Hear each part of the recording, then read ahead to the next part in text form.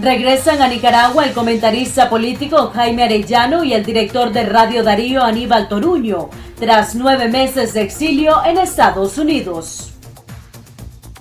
Alianza Cívica expone propuesta de reforma electoral y constitución para recuperar la democracia y Estado de Derecho y destacan la no reelección presidencial.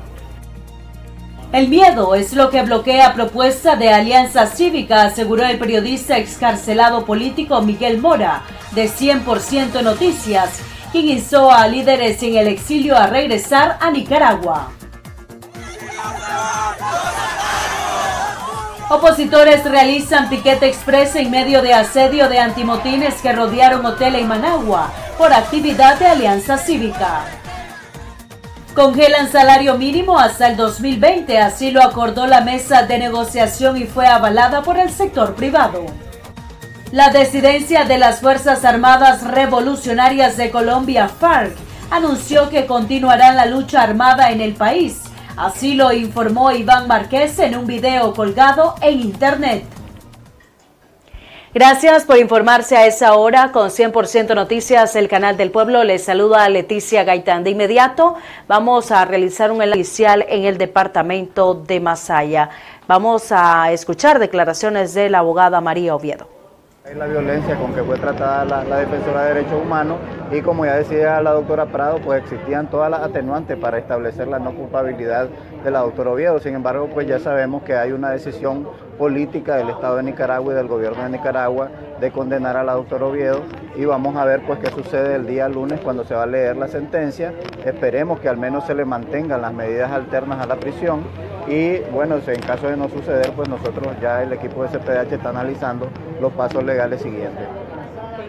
Eh, vemos que la doctora ha sido, pues, digamos así, víctima también del contexto social y político que se está viviendo en el país, como es la represión. Sí, definitivamente la doctora Oviedo no, no estaba actuando como una abogada particular, estaba actuando como una defensora de derechos humanos, como una funcionaria de la Comisión Permanente de Derechos Humanos.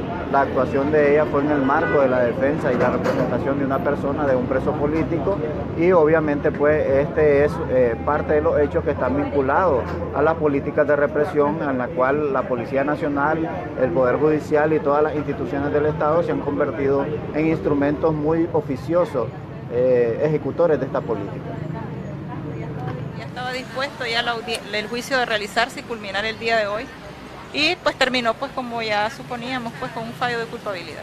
Eh, eh, ¿Esto qué implica, doctora? ¿Usted en qué medidas le dejó la jueza haciendo, declarándola culpable?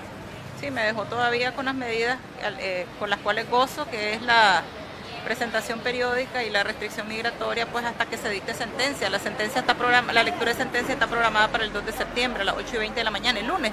2 de septiembre. Sí. Es decir, y si eh, una sentencia de qué, de qué tipo ser según la, ley. Bueno, es que la sentencia eh, ya, ya de hecho es condenatoria, ya, ya de hecho es condenatoria lo que vamos a lo que se va a valorar y ya lo hizo hizo la petición mi defensa es de que se suspenda la ejecución de la pena es decir, de que se me impongan medidas distintas a la prisión porque yo cumplo con los requisitos pues para que se me sea aplicada la suspensión de la ejecución de la pena. Pues.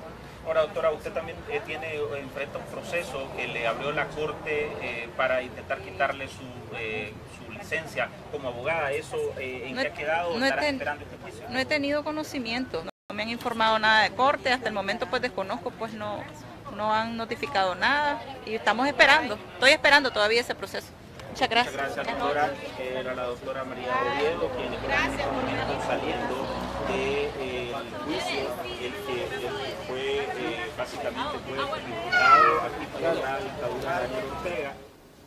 Bien, como escuchamos a la doctora María Oviedo, la sentencia se dictará el próximo 2 de septiembre del año 2019 por el delito de obstrucción de funciones en perjuicio de un policía jefe policial en el departamento de Masaya. Continuando con más informaciones, el comentarista político Jaime Arellano y el director de Radio Darío, Aníbal Toruño, regresaron a Nicaragua tras nueve meses de exilio en Estados Unidos. Ambos fueron recibidos por miembros de la Alianza Cívica por la Justicia y la Democracia en el Aeropuerto Internacional Augusto Cesandino. Veamos el siguiente reporte de La Voz de América con Donaldo Hernández. Tras casi un año de exilio, el comentarista político Jaime Arellano y el periodista Aníbal Toruño regresaron a Nicaragua para, según ellos, seguir informando y denunciando las violaciones a los derechos humanos en el país. El comentarista político Jaime Arellano exhortó al mandatario Daniel Ortega a tener voluntad política y volver a la mesa de negociación para ponerle fin al conflicto sociopolítico que atraviesa el país. ¿Todo bien? Más esperar hasta este momento de poder volver a este país. Ese, nos reunimos un sinnúmero de periodistas y comunicadores que, están, que quieren volver a Nicaragua. La mayoría de los nicaragüenses que están afuera quieren volver a Nicaragua. Y nos designaron, nos pidieron a Aníbal y a mí que viniéramos, que nos reuniéramos con las autoridades, con la Alianza Cívica, con la UNAC, con todos, que viéramos las condiciones. Y después de que sinceramente están dadas las condiciones para que todos los periodistas podamos volver a regresar a Nicaragua y trabajar por este país, para sacar este país adelante para este país, para lo que quiere, que quiere libertad, que quiere democracia. Y eso es lo que nosotros venimos haciendo. O sea, nuestra intención nunca fue quedarnos afuera. Mientras tanto, Toruño exigió a las autoridades garantías para seguir ejerciendo periodismo. Vengo acá, vengo acá porque me parece que es importante poderlos abrazar, poder seguir el liderazgo que teníamos desde el inicio, desde antes de la destrucción de la radio Darío, para seguir construyendo un, un gobierno con libertad de expresión en el que nosotros nos podamos expresar, en el que nosotros podamos vivir porque tenemos derecho y porque esta es nuestra nación. De acuerdo con la Fundación Violeta Barrios de Chamorro, en el contexto de las protestas antigubernamentales, más de 80 periodistas se han exiliado del país. Desde Managua, Nicaragua, Donaldo Hernández de La Voz de América para 100% Noticias.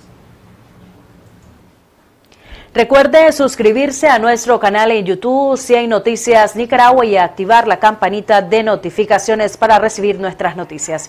Continuando con más informaciones, la Alianza Cívica presentó la propuesta de reformas a la ley electoral y constitución.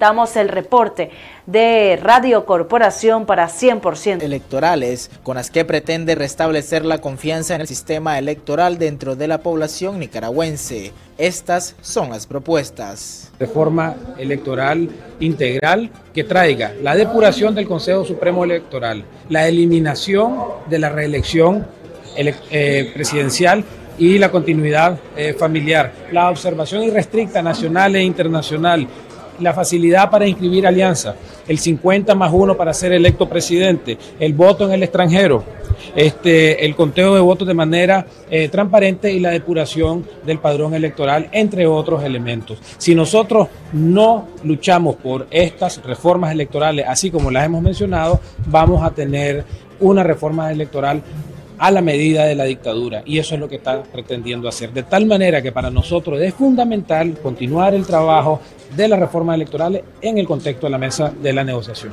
Ajustar las reformas electorales a las particularidades de la costa atlántica, que es un reclamo permanente, justo y sostenido de los pueblos autónomos del Caribe. Material electoral que genere confianza en el sistema, algo tan simple que nunca lo hemos tenido, las urnas transparentes, por solo dar un ejemplo, que permita apreciar si ya están preñadas, como se dice popularmente, o no están preñadas de inicio, y que nos vean los fiscales si no se agrega o se quita, ¿verdad?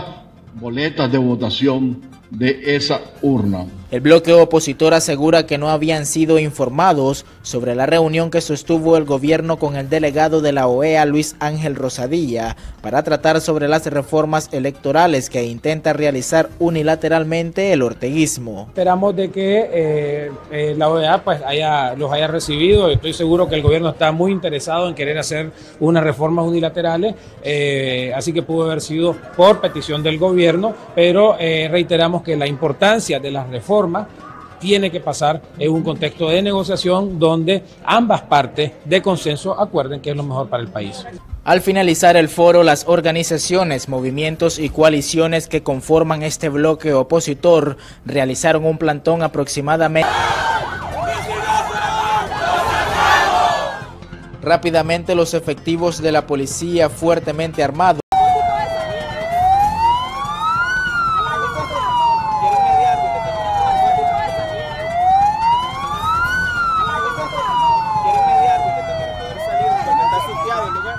De esa manera los uniformados evitaron que los manifestantes protestaran en la vía pública.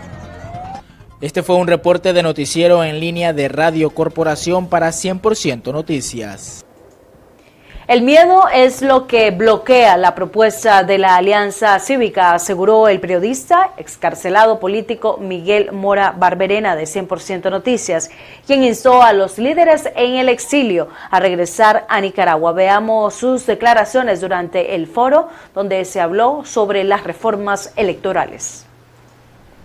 Yo creo que para hacer esto se necesita liderazgo, un liderazgo representado en la Alianza Cívica, pero que faltan otros liderazgos,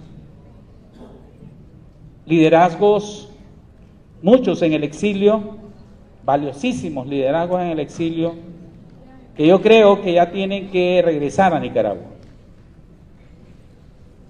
Y eso amerita y se tiene que enfrentar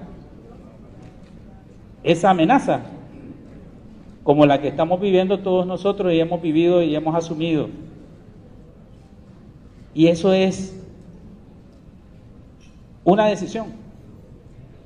Tenemos mucho liderazgo fuera para poder tener, cuando se dé, porque se va a dar todo eso, cuando se tenga que poner a todo el tendido electoral, cuando se tenga que organizar todo este sistema electoral nuevo, que nos garantice que esos acuerdos que se van a dar no nos roben a la fuerza o con mañas o marullas, necesitamos a ese liderazgo. Yo creo que eh, ya tienen que regresar.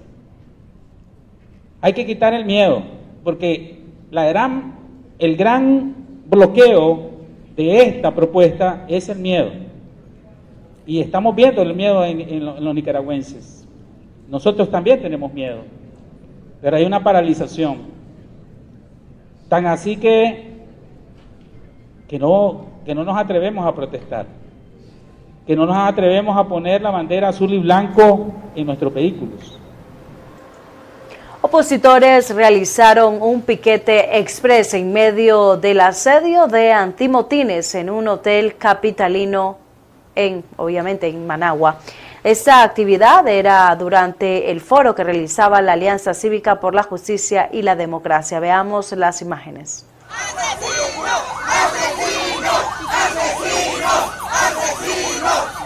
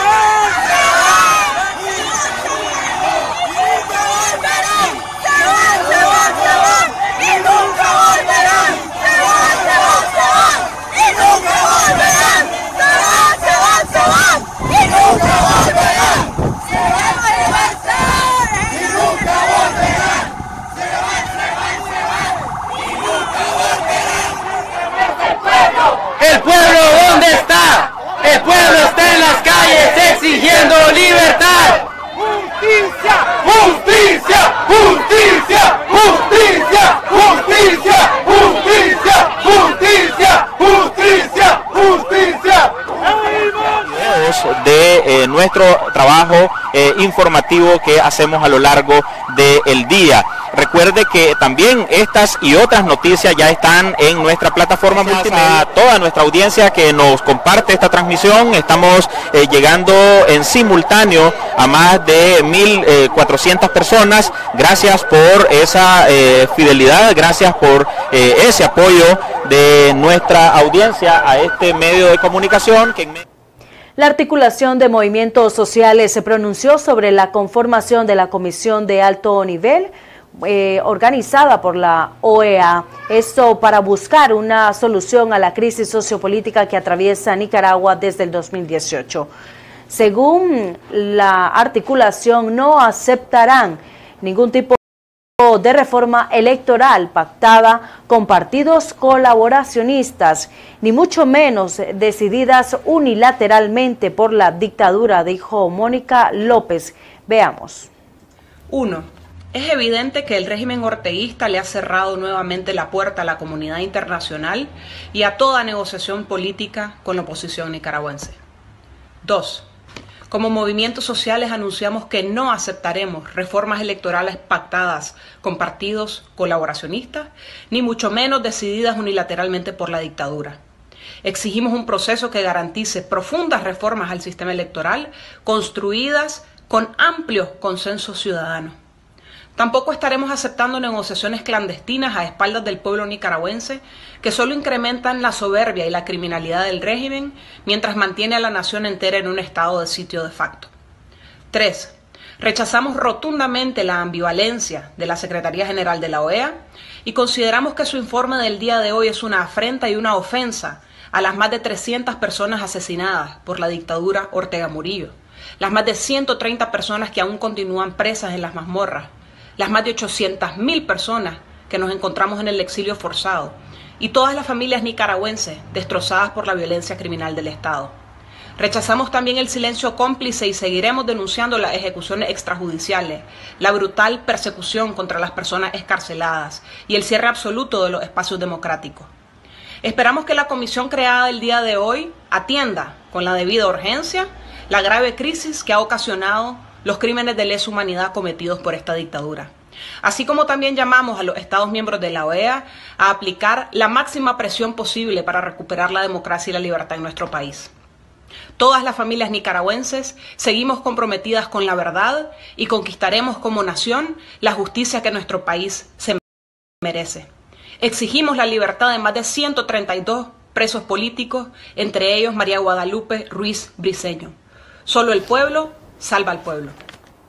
El padre Edwin Román fue asediado nuevamente por la policía sandinista en una misa que se realizó el pasado 28 de agosto del 2019 por la liberación de los presos políticos.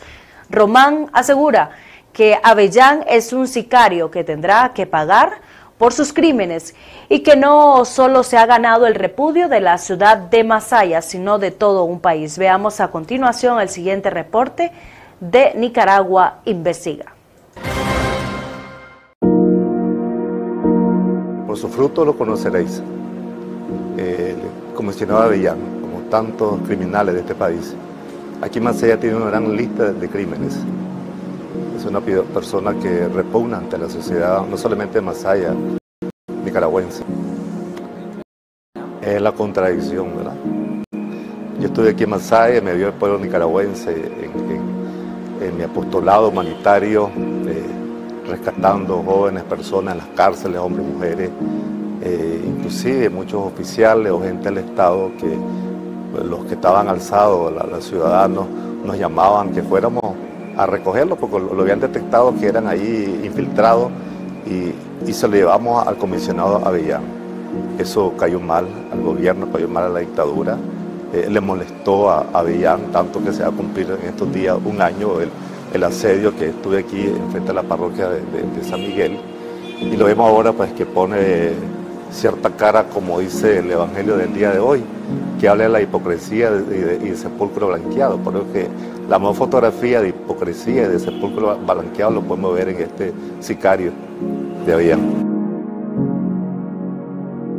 Dice el dicho, no, hay, eh, no podemos ser moneditadores para que bien a todo el mundo. Sin embargo, yo siento que la, sociedad nicaragüense, en llamadas, en mensajes, eh, uno más haya sentido eh, el apoyo, la oración de ellos. Quizás son, son pocos, uno ya sabe en, su barrio, en su cuadra, quién es quién. Y sí, ha habido personas que dirigen o escriben algún mensaje negativo sobre mi persona, eso en ningún momento me, me incomoda, no me desvela. Sé que cuando una persona pública está en algo así, pues, te tiran piedras de todos lados y que por algo nos tiran piedras también. Yo llevo aquí cuatro años, pues, agradezco al Carendal eh, la confianza, eh, el apoyo que me ha brindado estando aquí en la parroquia San Miguel, ejerciendo mi labor pastoral, porque estando aún en este contexto eh, es una labor pastoral humanitaria que estoy realizando. No, no es que, como alguien lo ha dicho, tildando de que me mete en política. Que alguien me señale qué bandera estoy siguiendo, que alguien me señale a qué político estoy siguiendo. Estoy con el pueblo nada más, en la demanda del pueblo, en su lucha por la justicia, la libertad de este país y eso no es ninguna política.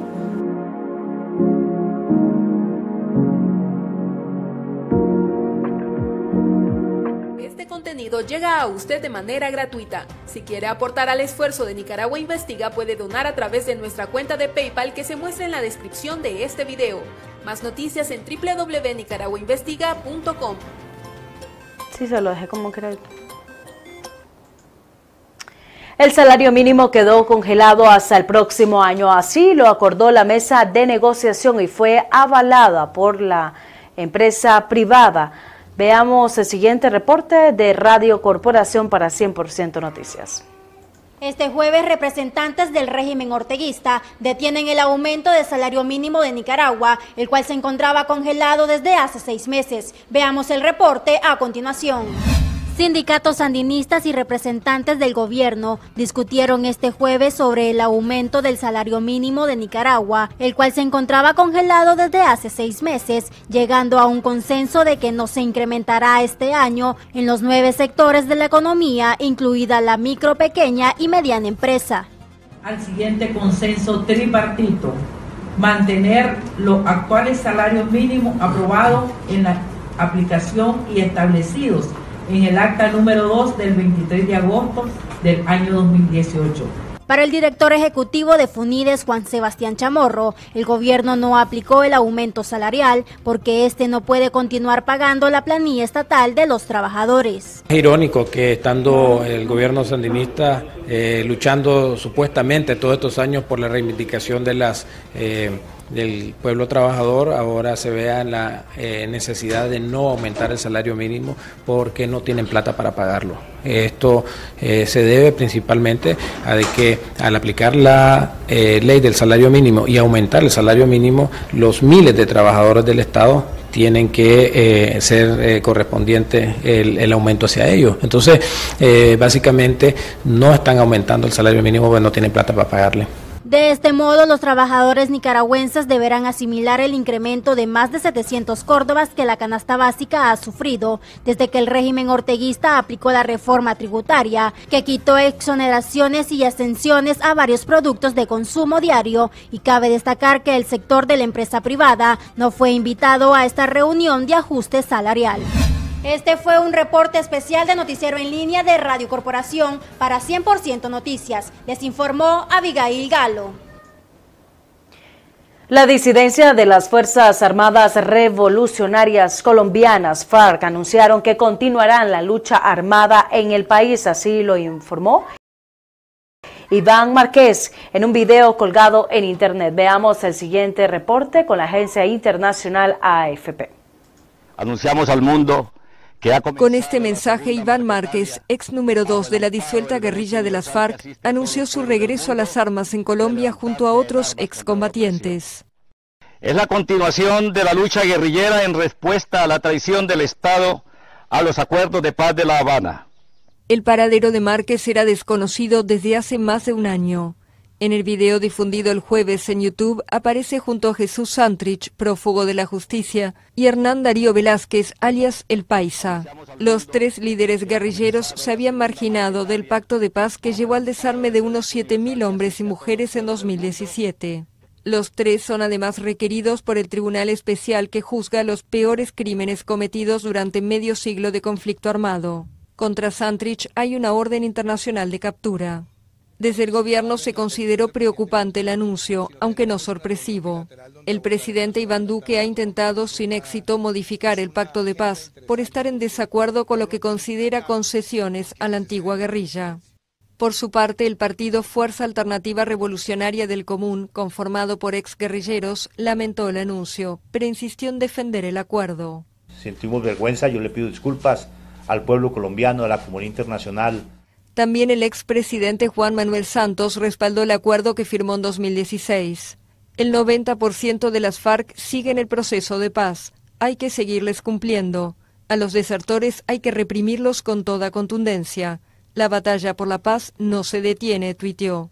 Aunque el grueso de las FARC se desmovilizó, según inteligencia militar, unos 2.300 combatientes distribuidos en varios grupos conforman las llamadas disidencias y se dedican mayoritariamente al narcotráfico y la minería ilegal.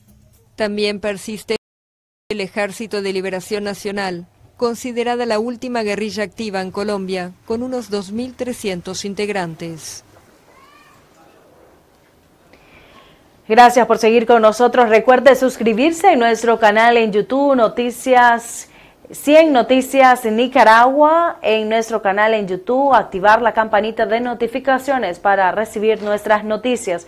Pero también le invitamos a que usted pueda informarse a través de nuestra página web www.ciennoticias.tv, nuevamente www.ciennoticias.tv TV. También puede seguirnos a través de nuestras cuentas en las redes sociales. Estamos en Facebook, 100% Noticias. También puede seguirnos a través de nuestra cuenta en Twitter e Instagram. Así que muchísimas gracias por habernos acompañado y los dejamos con nuestros titulares. Regresan a Nicaragua el comentarista político Jaime Arellano y el director de Radio Darío Aníbal Toruño, tras nueve meses de exilio en Estados Unidos. Alianza Cívica expone propuesta de reforma electoral y constitución para recuperar la democracia y Estado de Derecho y destacan la no reelección presidencial. El miedo es lo que bloquea propuesta de Alianza Cívica, aseguró el periodista excarcelado político Miguel Mora, de 100% Noticias, quien instó a líderes en el exilio a regresar a Nicaragua.